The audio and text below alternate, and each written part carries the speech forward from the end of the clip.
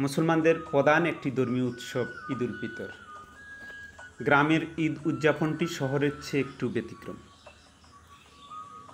এ কারণেই সবাই ঈদ উদযাপনের জন্য বারবার গ্রামকেই বেছে নেন।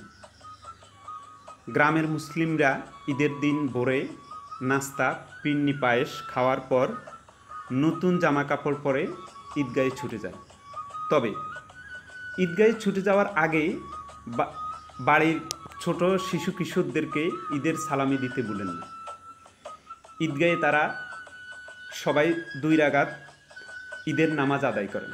এরপর সৃষ্টিকর্তার নিকট গ্রামের সকল মুসল্লি একত্রে হাত তুলে দোয়া করেন।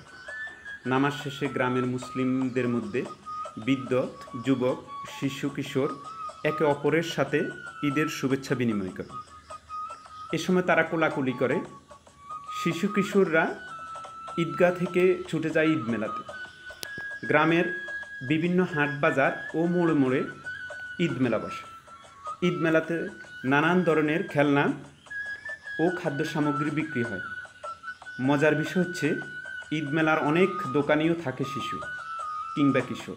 অন্যদিকে, ছোট ক্রেতা শিশুরা এদিন তাদের ইচ্ছা মতো কেনাকাটা করে।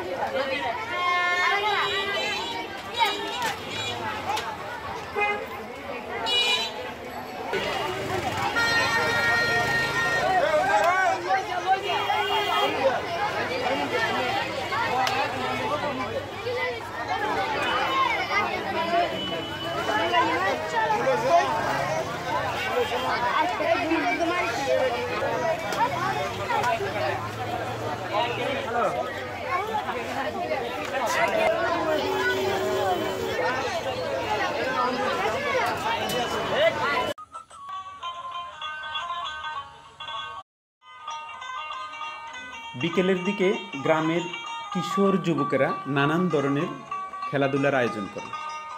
এ সময় বিবাহিত ও অবিবাহিত মজাদার প্রীতি ফুটবল ম্যাচের আয়োজনও চোখে পড়ে। কিশোররা উঠে দেশীয় নানান খেলা। সন্ধ্যার সময় গ্রামের বিভিন্ন মোড়ে মোড়ে প্রায় লোকগানের আসর জমে।